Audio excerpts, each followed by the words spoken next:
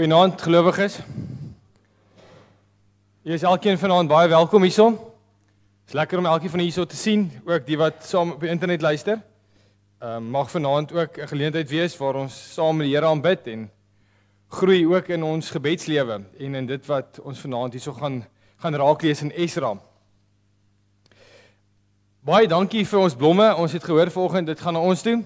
Uh, ons waardeer dit verskriklik baie en ek wil ook net sê weet as ons nou 'n rukkie in die gemeente en die boodskappe en meelewing wat ons beleef het in hierdie laaste week was ongelooflik. En ek kan nie nie anders as om vir u te sê baie dankie vir elkeen se boodskap of uh, handdruk of so nie. Wiekie waardeer dit ook baie. En uh, ja dis maar een van daai duisend dinge wat gebeur in ons lewe en ons vat nou die pad vorentoe. Ehm um, saam met mekaar en my skoonma en almal So maar in elk geval baie baie dankie daarvoor. Ons waardeer dit so baie. ons gaan ons liefdesgawes vroeg opneem en dit gaan vir die diakonale kas en as jy uit gaan bietjie later dan gaan dit vir ehm um, vir afgetrede helpers en evangeliste.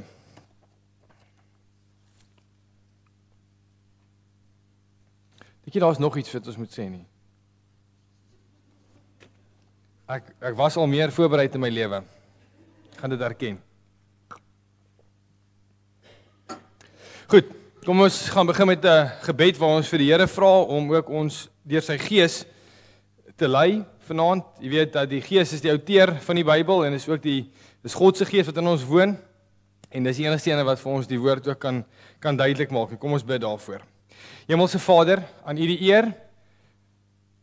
Vanaand die lof die erkenning daar's niemand soos U nie. Here, daar's net een God. En dit is die skepper van hemel en aarde wat hom aan ons bekend en bewus gemaak het deur die seun Jesus Christus met die krag van die Gees wat ook nou in ons woon. Here, en U is 'n God wat heilig is. U is so heilig dat as ons sonder of as ons net soos ons is of was voor u kom sou u goedheid en u glans en u heiligheid ons totaal verteer het. En daarom vra hy ook omdat u heilig is en omdat u seun heilig is en die gees heilig is dat ons wat u losgekoop het ook moet heilig wees. En mag ons vanaand iets daarvan beleef, Here. Hoe ons ook uit die woord uit weer dit hoor. U ken elkeen van ons. Vader, u weet daar is dinge wat dalk in ons pad staan en mag ons vanaand deur die skriflesing en dit wat ook u gesê word, mag u ons harte kom omroer sodat ons tot 'n besef sal kom van wat u wil vir ons lewe is en dat ons ook in 'n belydenis en in 'n bekering sal gaan en daadwerklike optrede sal doen teenoor dit wat u in ons hart wakker maak. Vader, ons kom prys U vir meelewing in hierdie gemeente. Ek kom sê vir U dankie vanaand vir hierdie broers en susters van my wat ook in hierdie laaste week so mooi na ons gesin gekyk het. Deur 'n boodskap, deur gebede, oproepe. Vader, as dit is hoe lief ons mekaar het, dan is dit my gebed soos in Johannes sê dat as ander mense dit raak sien dat hulle sal weet dat ons disippels van U is. Dankie vir die geloofsfamilie. Dankie ook vir hulle plek in ons gesin se lewe. Ons prys U groot naam. Amen. Kom ons sing lied 164 vers 1 en 2 wat so mooi ehm um, verklaar dat ons hierso by mekaar is in die Here se naam. Ons is elke dag in die Here se naam, maar ons is as as gelowiges in die Here se naam by mekaar. En uh, ons sing dit en dan gaan ons daarna die liefdesgawes opneem, so ons gaan uh, net so bly sit. En dan ons lofsang Skrifryming 2:2 vers 1 en vers 3.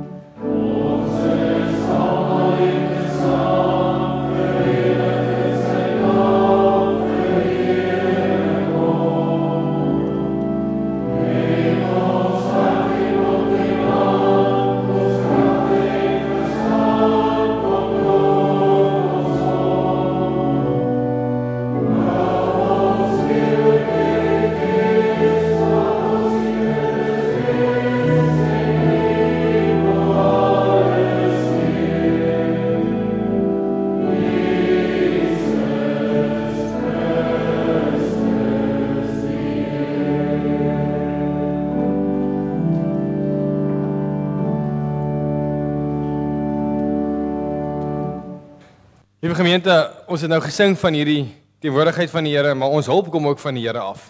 Daarom kan ons vanaand ook die seën van die Here uitspreek. Genade en vrede vir julle kom van God ons Vader deur sy seun Jesus Christus deur die kragtige werking van die Heilige Gees. Amen. Die Here seën ons elke dag ook met fisiese middele. Kom ons seën op ons beurt vanaand en ons dink ook aan ons gebede aan hierdie uh, mense vir ons ook kan help deur hierdie liefdesdaad wat u vanaand doen, die diakonale kas. Kom ons gee nou die liefdesgawes.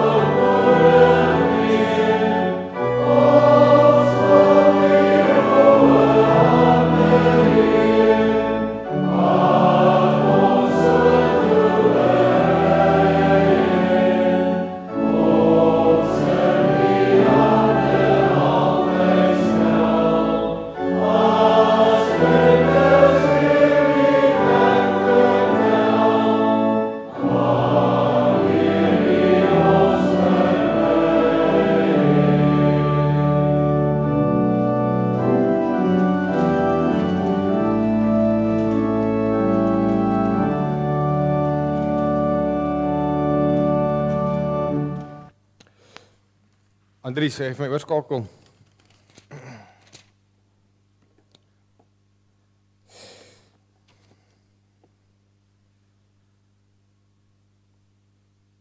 Goed, ons gaan ehm um, ons is besig om so sonnaande as ek die voorreg het om die woord te bedien, dan kyk ons ehm um, na verskillende gebeure in die Bybel en ons kyk wat gebeur daar en ons kyk wat wat druk die Here op ons om om uit daai gebed uit ook uh dan nou na vore te bring. En vanaand gaan ons stil staan by by Esdra 9 en hoe ons hierop afgekom het is ehm um, verlede week ons is besig met Bybelstudie ehm um, met met Esdra verlede week besig gewees. En ehm um, in my voorbereiding om die Bybelstudie op te stel, het hierdie gedeelte op ehm um, op ons tafel beland. En wow, wat 'n gedeelte. So kom ons lees dit en dan hoop ek is u ook so opgewonde soos ek uh as ons dit klaar gelees het. Ons gaan hoofstuk 9 lees en 'n paar verse in hoofstuk 10. Nadat die dinge gedoen is, het die leiers van die gemeente vir my kom sê, die mense van Israel en die priesters en die leviete het hulle nie afgesonder van die nie-Joodse bevolking met sy afskuwelike gebruike nie. En die is nog dieselfde as die van die Kanaaniete, Hittite, Ferisiete, Jebusiete, Ammoniete, Moabiete, Egiptenaars en Amoriete. Ons mense en hulle seuns het getrou met nie-Joodse vrouens. Hulle het hierdie volk om laat vermeng met heidene. Leiers en amptdraers het die voortou geneem in die trouelose optrede. Toe ek dit hoor, het ek my klere geskeur, my hare en my baard uitgetrek en verslaag gaan sit. Almal wat by die gedagte aan die opdragte van die God van Israel vreesbevange was oor die troueloosheid van die mense uit die ballingskap, het by het by my kom staan. Ek het maar net verslae daar gesit tot die tyd van die aandoffer toe. Maar teen die tyd van die aandoffer het ek daar opgestaan waar ek my met my geskeurde klere verootmoedig het, op my knieë geval en my hande in gebed uitgestrek na die Here my God. Ek het gebid: My God, ek is te skaam. Ek het nie vrymoedigheid om my kop voor U op te tel nie. Ons sonde is hoog opgestapel. Ons misdade staan hemelhoog. Van die tyd van ons voorvaders af tot vandag toe is ons bestaan vol oortredings teen U. Dit was deur ons sondes dat ons ons konings en ons priesters in die mag van heidene konings oorgegee is. Ons is doodgemaak, gevange geneem, geplunder. Smaad het oor ons gekom en dit is nou nog daar. Nou 'n kort oombliekie het daar vir ons genade gekom van die Here ons God. Hy het die klompie van ons laat vrykom en ons hier in sy heilige plek vastigheid gegee. Ons God het ons weer laat lewe. Ons 'n oomblik laat asem skep na ons slawerny. Ons was slawe, maar ons God het ons nie slawe laat bly nie.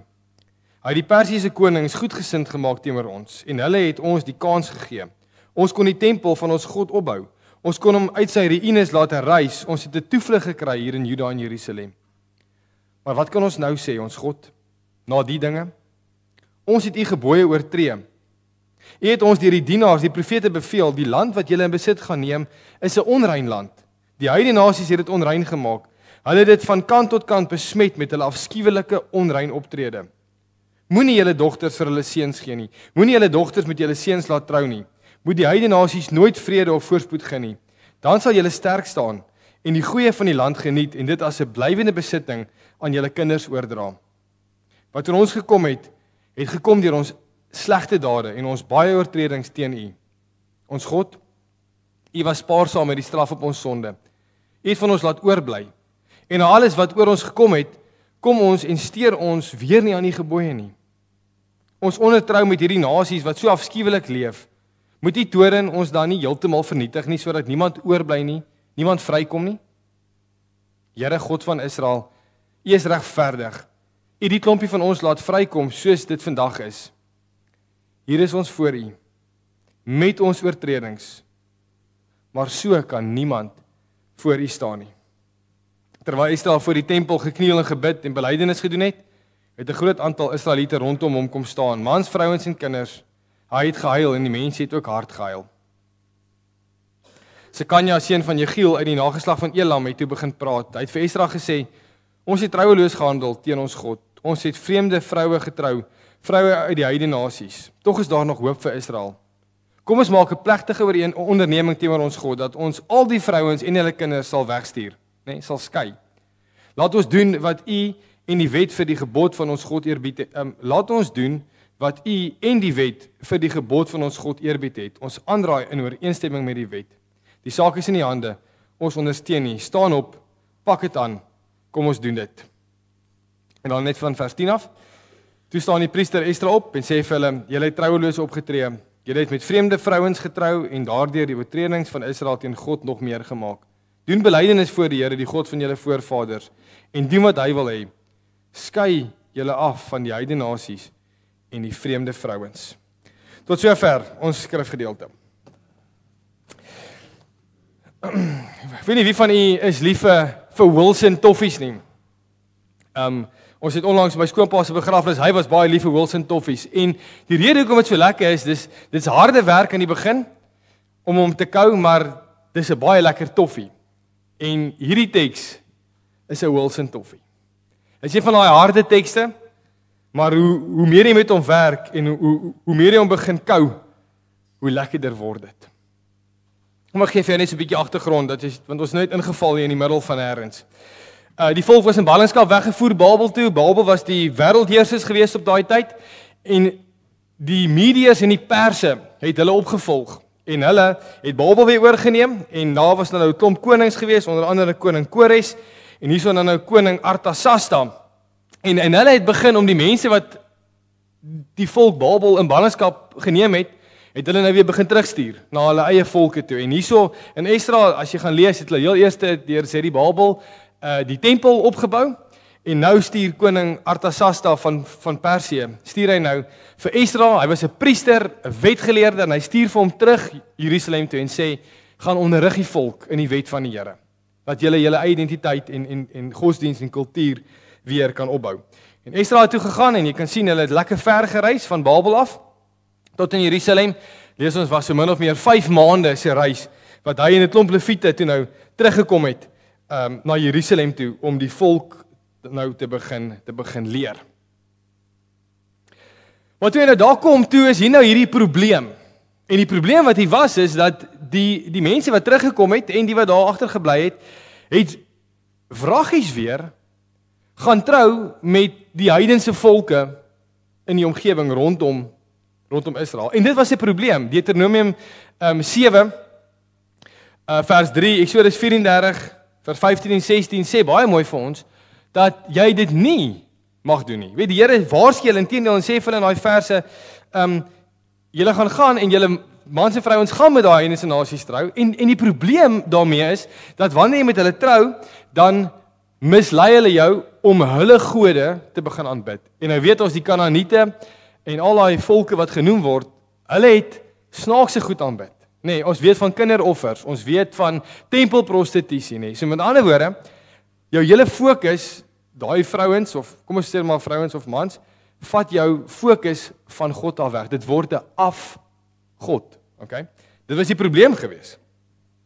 Behalwe natuurlik die Here het voorsiening gemaak dat as jy nou nie 'n Jood was nie, kon jy as jy tot bekering kom 'n Jood word en jy kon deelneem aan ehm um, aan aan van die offers. Maar dis nie hierdie geval nie. Reg, so hierdie mense is nou weer weer omge het ingetrou en nou het hulle weer geskuif na ander gode toe. Nou, ons moet 'n dingetjie verstaan hierso want onthou God is heilig. Né? Nee, baie baie baie baie heilig. So heilig en hy's so goed en so uniek dat as jy enigsins naby hom kom soos wat Moses na hom wou gekom het, uh, sal daai heiligheid jou totaal verskroei. Sal dit jou doodmaak want God is goed en jy is nie goed nie. En en die hele ding met met Levitikus en Eksodus en die wette wat God gegee het was sodat hulle um ritueel en moreel rein kon wees om so nou en dan voor God te kon verskyn binne die tempel wat natuurlik die simbool was van God se teenwoordigheid met hulle. So om nou met hierdie mense weer te ondertrou en nou nou weer deel te word van van daai afgode, maak jy weer onrein. En dan kan jy nou weer nie vir vir God kom nie. So die hele ding het uit te maak met met heiligheid nie, want God het hierdie volk of was hy of was hulle klein afgesonder vir hom. Net dis wat dit beteken om heilig te wees, afgesonder, eenkant nê, spesiaal geroep. OK, so hierdie hierdie nuus het vir Esdra gebreek. Maar jy sien dit, hy trek sy hare uit sy kop uit, hy skeer sy kleed, um totaal klein geword en hy is nie skuldig nie, nê, nee, maar hy tree in vir hierdie volk, nê, nee, en hy hy hy bid, nê, nee, hy hy bely, hy kom erken voor die Here en dit wat in die gebed, julle as jy 'n verootmoediging gebed wil sien. Hier's een. Hier's een, want wat nee, wat kom erken hy voor God? Hy sê, Here, ons weet hoekom ons weggelei is. In die eerste plek, dis as gevolg van hierdie vroue. Ons het ander gode begin aanbid, ons het kinders begin offer, ons het tempelprostitusie gedoen, ons het ons het ontrou geraak oor U en U het baie geduld met ons gehad, maar tot op 'n punt. Toe vat U ons weg. Maar hy sê ook, Here, maar U het vir ons uitkoms gegee, weer 'n 'n nuwe begin en nou hier sit ons alweer met dieselfde ding. Hoe is dit moontlik? Net en dan sluit hy daai gebed af en dis 'n gedeelte, dis iets wat my persoonlik baie getref het. Hy staan daar net met daai hele volk se sondes voor voor God en hy sê Here, hier is ons ons. Met al ons oortredings, maar ons weet ons kan nie so voor U staan nie. En dan kon hy seker maar gesê het amen, want dit was die einde van sy gebed.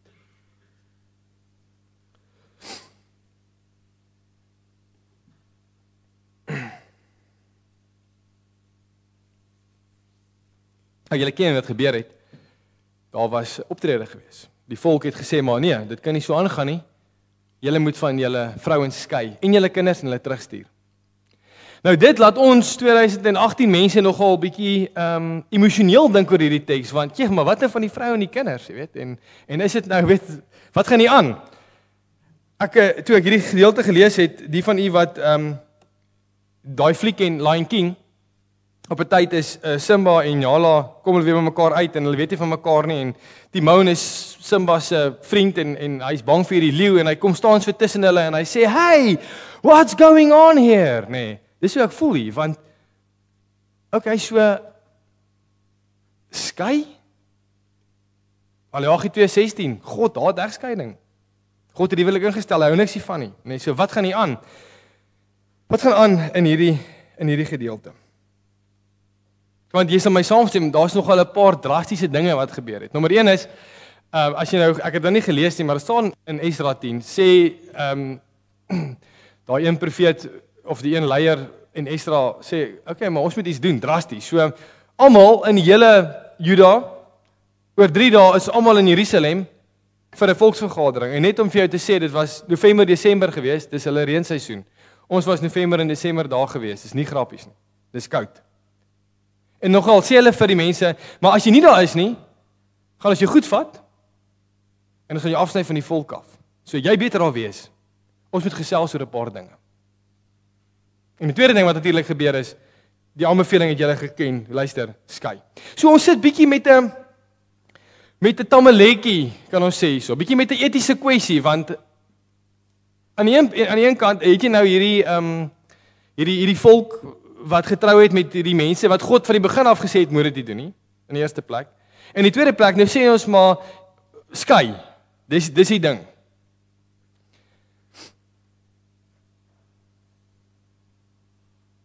Nou ons moet net gou hierdie hierdie ding vir mekaar ehm um, net duidelik maak voor jy hierdie teks wil gebruik om te skei want jy kan nie.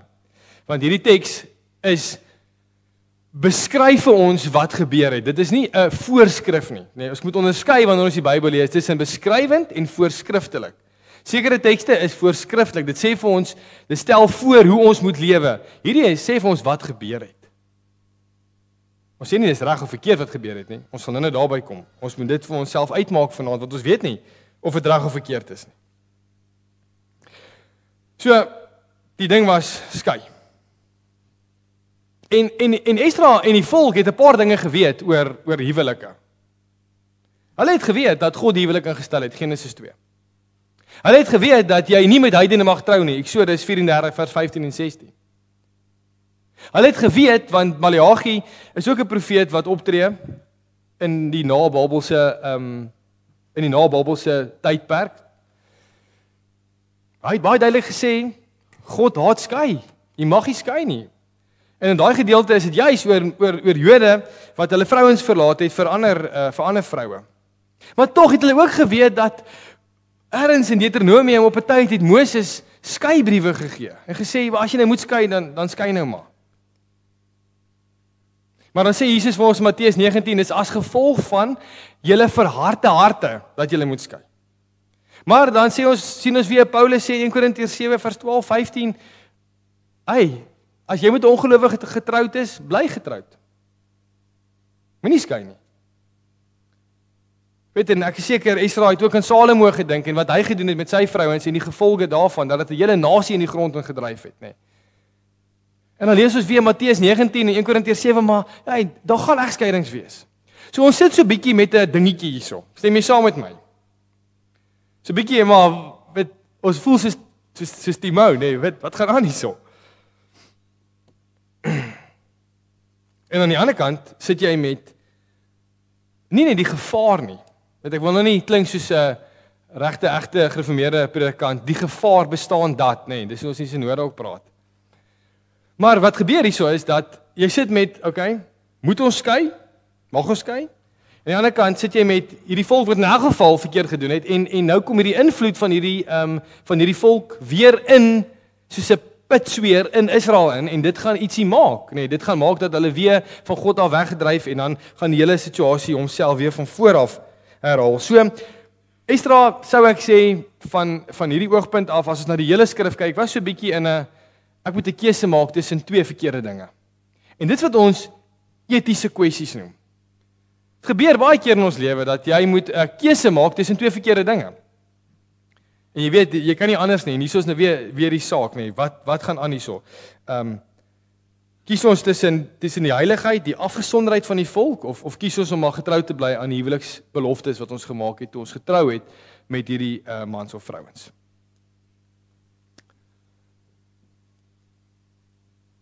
Die mense wat my gehelp het om hierdie ding te verstaan, het verskillende uitgangspunte. Van hulle sê of of kom ek sê so, een ding is duidelik dat ons is nie seker. Ons kan nie met sekerheid sê dat God vir hulle gesê het om te skei nie.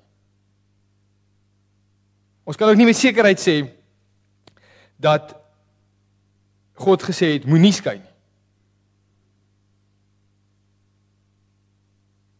So ek kan nie vanaand vir jou antwoord gee of God het gesê het of nie gesê het en of hulle reg gemaak het of nie reg gemaak het nie. Wat ek wel vir jou kan sê is hulle was bietjie in 'n dingetjie van hier's twee slegte dinge Ons moet kies.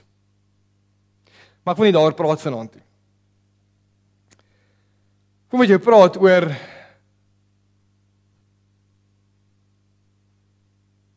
hierdie ding wat hierdie volk gedoen het, hierdie absolute dringendheid om tog die die heiligheid van van God nê en die die die skoonheid van die volk om by God te wees en nie in te meng nie en om te erken as die enigste God om dit te behou. Daar was iets drasties daarin of dit nou reg was of verkeerd was um, om om te skei. Ons ons ons kan daaroor dit is debatteerbaar, nê. Nee.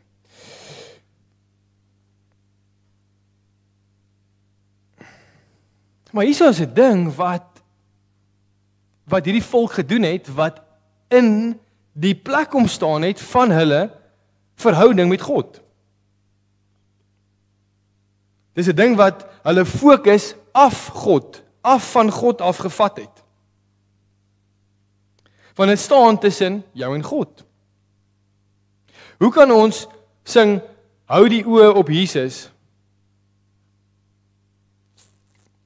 as daar iets hier kom staan wat jou oë wegvat van Jesus af? As jy iets op iets anders is, dan kan jy nie kan jy nie kyk nie. Weet en en God God soek getrouheid. Nee, hy soek hy soek lojaliteit teenoor hom alleen want kyk vir 'n begin daar is nie ander gode nie. As die Bybel praat van ander gode dan gaan dit oor ons mens wat dit uitdink maar hulle bestaan nie regtig nie. Daar's net daar's twee daar's twee paaie. Is God goed, sleg. Daar's net daai twee. Daar's nie nog klomp ander dinge in hierdie wêreld nie. Maar God sê maar weet julle mense, julle dink goed uit in julle koppe uit en julle aanbid dit. Um mooi goed wat ek vir julle gee. Nee, you take good things and make it into ultimate things. En dan bid julle dit. So hierdie gedeelte wil vir ons as gelowiges van Bellville Oos vanaand glo ek baie sterk leer dat skei, gee vir dit wat in jou pad staan met die Here 'n skeibrief. En as ek kan sê dringend, dan bedoel dit vanaand en wees heilig. 1 Petrus 1 vers 13 tot 16. Dit is so duidelik wat hierso dink ek vir ons staan. Want God is heilig. Dis wat 1 Petrus sê. Nee. En ek dink nie net vir jou as individu nie, maar ons sien ook hier hoe Esdra, nee, hy gaan en hy tree in vir die gemeenskap, vir die volk, nee. So dit gaan nie net oor 'n individuele ding wat in ons pad staan nie, maar ek dink ook daar kan iets en ons kan dit nog kwalifiseer dalk met 'n gesprek een of ander tyd, maar oor wat kan in ons gemeente se pad staan om God te aanbid, nê? Nee, wat moet Belwel Oos? Waarvoor moet Belwel Oos 'n skeybrief gee en sê, "Cheers. Jy's nie welkom hierson nie." Nee, gee 'n skeybrief vir daai gewoonte, gedrag, dade wat nie lyk soos Jesus nie. Ek het al baie daai ehm um, hierdie beeld gebruik van die die man wat 'n kompetisie gewen het omdat hy 'n baie mooi ruiter op 'n perd uitgekap het uit 'n marmerblok uit en die ehm um, die media kom na hom toe en vra vir hom meneer vertel vir ons hoe kry jy dit reg? Hoe hoe kap jy 'n uh, ruiter op 'n perd uit 'n marmerblok uit? Hy sê dit is baie eenvoudig. Ek kap dit als weg wat nie lyk soos 'n ruiter op 'n perd nie. En dis wat dis dis wat dis wat drastiese geloof is, is om dit wat nie lyk soos soos Christus nie, soos wat die woord in in die briewe van van Paulus en Petrus en Johannes wat dit vir ons sê hoe ons moet lewe, uh kap dit weg. Nee, dis 'n dis 'n drastiese ding want dit staan in jou pad om God te aanbid en as dit in jou pad staan om God te aanbid, aanbid jy daai ding en nie vir God nie en dit is die probleem. Weet, dis nie ehm um, dis nie sommer net dat dit in Esdra ook staan nie. Jesus vra ook drastiese geloof, nê. Nee, dis wat dis wat hy soek en dis hoekom hy sekere dinge sê in Matteus 10 byvoorbeeld. Wat uh, hy praat oor oor volgelingskap en dan sê hy hy wat sy vader of moeder liewer het as vir my, is nie werd om aan my te behoort nie. Hy wat sy seun of dogter liewer het as vir my, is nie werd om aan my te behoort nie. Hy wat nie sy kruis opneem en my nie volg nie, is nie werd om aan my te behoort nie, nê. Nee, dit is as jy nog nie drasties gesien het nie, dis drasties. Nee, met ander woorde, dit waaroor ons emosioneel voel, dit wat vir ons so lief is, nê, nee, my ma, my pa, nê, nee, my kinders. Die Here sê nee. Ek moet belangriker wees as dit. God moet belangriker wees as jou maat in jou huwelik. God moet belangriker wees as daai kinders van jou wat ons in ons tyd vandag en ek is 'n pappa van twee kinders, amper 3 nou. Wat ehm um, wat wat verstaan dat daar's konteks hef kinders so op nê dat hulle 'n ding word wat ons amper net so moet neersit en weet alles moet net mooi gaan volgens hulle offer jou hele lewe op. Wat is 'n opoffering? Kyk wat sê hy nog, nog weer drasties nê, as jou regter oog nê, hy praat hier oor keisheid in die huwelik. Dis die gedeelte waar Jesus praat, dan sê hy, "Hey, as jou regter oog jou laat struikel, haal hom uit." Gooi hom weg van jou af, nê, nee, want dit is vir jou beter dat net een van jou ledemate verlore gaan as dat jou hele liggaam in die hel gegooi word. Of as jou regterhand jou laat struikel, kap hom af, nê. Nee, gooi hom van jou af weg, want dit is beter vir jou dat net een van jou ledemate verlore gaan as dat jou hele liggaam in die hel beland.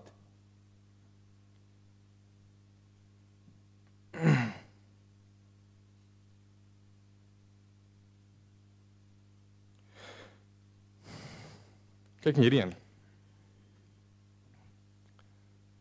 Here sê moenie moenie met ongelowiges in dieselfde juk trek nie.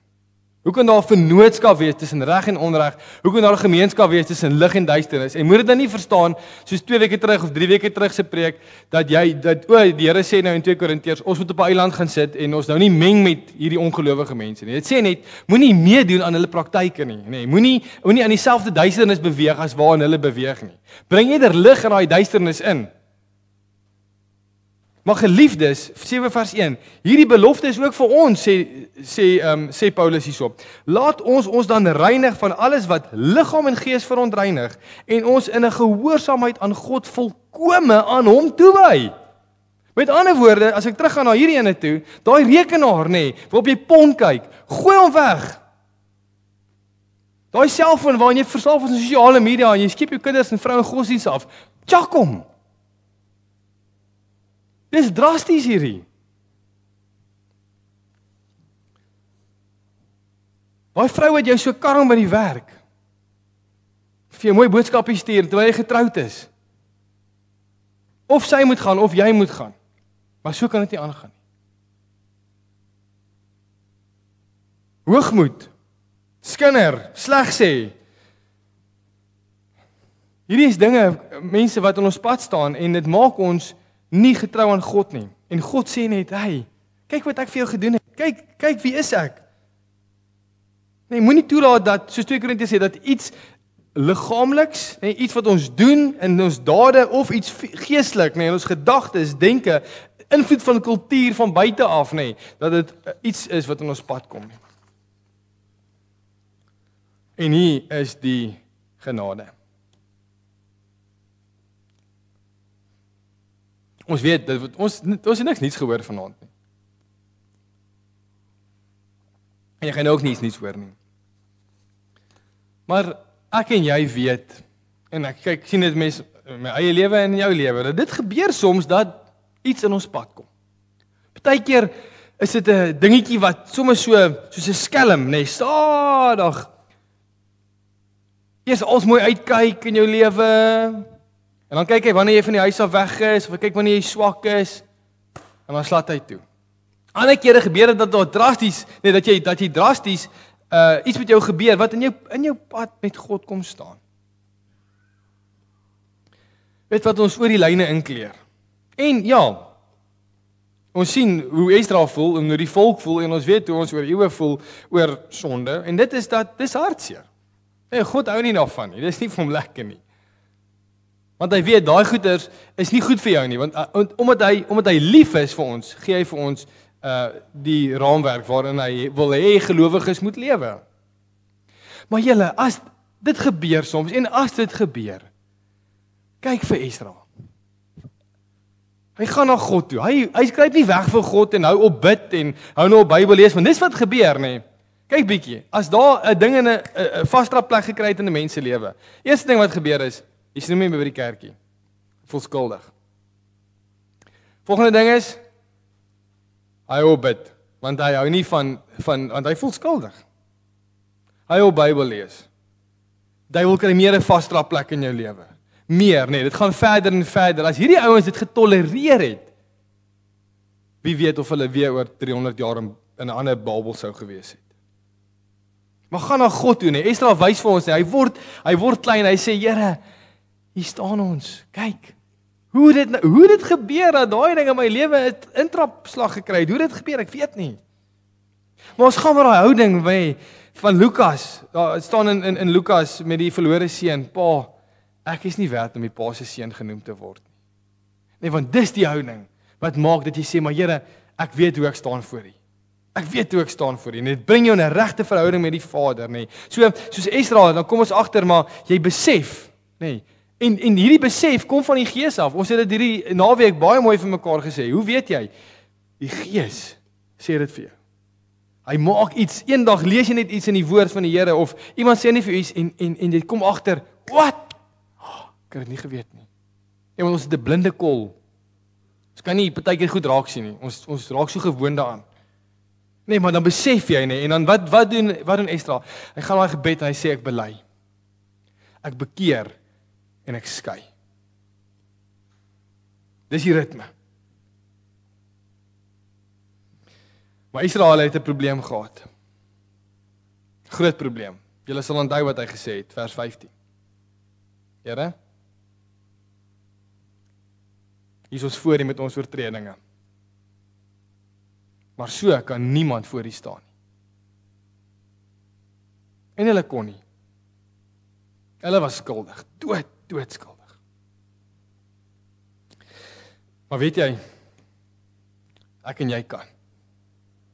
Ons kan na God toe gaan en sê Here, hier staan ek voor U met my oortredinge. Maar op die grond van Jesus Christus se werk aan die kruis weet ek ek skoon. Weet ek dat hierdie ding nie verder 'n intrapplek 'n intrapplek in my lewe sal of behoort te hê nie. Want my sonde is uitgewis voor U, want Jesus Christus kom staan tussen jou en God en God sien jou as skoon. Want die Here sê, julle ken dit, ek sal 'n hart vol berou nie gering ag nie. Dis nie ek dit is nie dis nie vir klein as jy na my toe kom soos Esdra en op jou knieë neerval en jou hande uitstrek na my en sê Here, ek kan nie. Maar Jesus het. En en dit is die ding wat wat maak dat dat dat daai ding jou nie um insluk en jou net die pap met jou stap verder in die afgrond in nie. Want dit bring jy weer terug. Dit bring jy weer in die vloei van die Gees in. Johannes 7. En dan gaan jy weer aan met jou lewe. En dan maak ons nie die gees hartseer nie. Om die gees hartseer te maak is om maar weer dieselfde ding oor en oor en oor te doen. En ons sien hoe hartseer Esdra hier is, nê, nee, want hy sê, "Wat? Weer vrouens van alle nasies? Dis hoekom ons daar was, nê? Nee, leer uit dit wat ons gedoen het. Uit dit wat gebeur het met ons, nê. Nee. En en daarom wil ek vanaand vir jou vra om net so 'n bietjie oor hierdie paar dinge net na te dink. Is jy weet as jy jou getrouheid op 'n skaal, weet van van 1 tot 10 moet sit. Is jy getrou aan God? Is daar dalk iets wat jy en jou man of vrou of kerel of meisie of verloofde moet oor gesels wat daai persoon doen wat jou wegtrek van God af? Maar sy weet dit nie. Want as van nie op tone trap nie en en wat jou ongemaklik maak. Dalk moet jy dit vir haar sê. Dalk moet jy dit vir hom sê. Dalk iets wat ons moet oor gesels, is daar iets wat die Gemeente Kerk Belwel Oos 'n skeibrief moet voorgee. So iets wat jy 'n skeibrief moet voorgee vanaand, wat jy weet. Ons het nou nou klomp dinge genoem en ag daar's 'n hele rits dinge wat ons wat jy weet in jou pad met God staan of kan staan. Maar vir wat moet jy 'n skeibrief gee? En en gee dit. Nie asseblief nie vir 'n man of vrou nie. Kom sien eerder iemand professioneel sien ons sorg dit uit. Want alles kan nê, nee, want God gee vir ons die krag. Hy sê niks is vir my onmoontlik nie. So ek laat jy 'n bietjie met hierdie net vier vrae en ek weet nie hoekom hy is vanaand die kolletjie onder sit nie. Ek sal dit met regmaak. Vir wie moet jy of vir wat moet jy? Nee, vir wat moet jy? Watter denke, dade, gedagtes, gevoelens moet jy 'n skeybrief gee. Amen.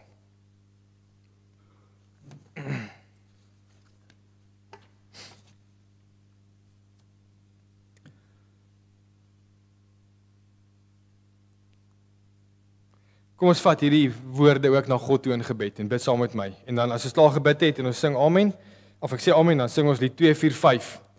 Uh vers 1 2 en 3 wat 'n uh, 'n skuldbelydenis is, maar ook 'n genade ehm um, 'n genade van van die Here af. Dit wat ons hierso gesê het, nê, nee, so mooi. Uh ek gaan net vir ons bid dit wat ons hierso vir mekaar gesê het en dan sing ons lied 245. Ehm um, Skepperywing 14:3 word nie gesing nie. Dit is 'n 'n foutjie. Hemelse Vader, egte getrouheid aan U. Net omdat ons weet hoe hy oor ons voel. En Here, nou weet ons vanaand, dit is ons is mense. En ons vind onsself keer op keer dat ons met hierdie spanning in ons loop. Paulus het dit ook ge gehad. Dit wat ek wil doen, dit doen ek nie en dit wat ek nie wil doen nie, dit doen ek. Vader, ons ons kom staan vanaand voor U met dit en ons sê ons wil. Hier's mense wat hier sit vanaand, Here, wat wil. En ons weet dat Christus vir ons intree. En ons sê vir dankie daarvoor.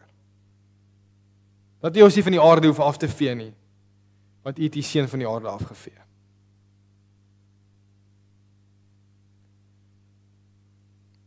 Vader, maar seker is mense ook vanaand wat wat nie seker is of hulle wil nie. Hulle twyfel oor U.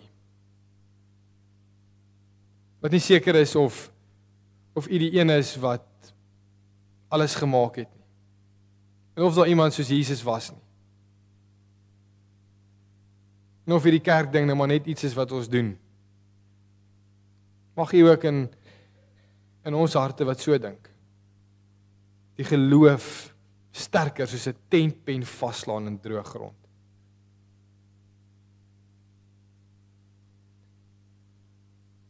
Vader, u weet wat in ons lewe aangaan. U is nie net hier in hierdie kerkgebou as gelowiges bymekaar is nie. U is elke liewe dag by ons. Deur die Gees. Ons kan nie vir u wegkruip nie. Ons kan nie agter 'n toe deur ingaan en en net so 'n bietjie rus van u af nie. Ons kan nie hoë berge opklim en sê u is nie daar nie, want u is oral. God met ons, Immanuel. Here maar nie net sien ons dit dan as hierdie oog wat heeltyd vir ons kyk nie. Maar is iets wat ons rus en vrede gee. Want ons kan rus en die Gees herinner ons dat ons in Jesus Christus kan rus. Dat daai sonde voorbetaal is. Dat daai dinge wat aan ons pad staan om 'n mooi verhouding met U te hê, dat dit doodgemaak is aan die kruis. O Vader, wil U ons laat besef as daar ietsie is wat ons moet vooruitkyk. Iets wat in ons blinde kol is wat ons nie raak sien nie. En mag ons soos Esdra bely. Mag ons bekeer. En mag ons daai skeybrief gee, Here, wat sê maar jy's nie welkom in my geloof nie. Vader, U ken ons harte. En daarom bid ek dat U ook as U Gees vanaand ook as ons hier uitstap, net hierdie hierdie gedagte verder in ons harte vasmaak en waarmaak ook die res van hierdie week. Ons bid dit in die naam van Christus alleen. Amen.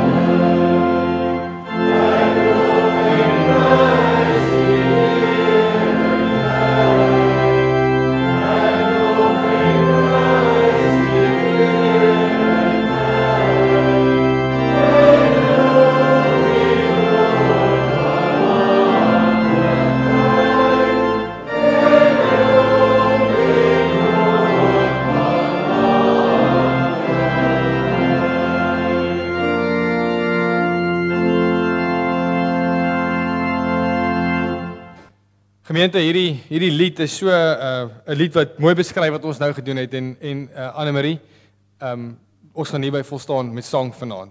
Dit was dit was goed genoeg. Ek gaan die seën uitspreek en dan gaan ek net die amen sê. Ons gaan ookie sing nie en dan mag jou amen wees om gehoorsaam te wees aan dit wat ons vanaand hierso gehoor het. Die genade van ons Here Jesus Christus, die liefde van God en die gemeenskap van die Heilige Gees sal met julle elkeen wees en bly.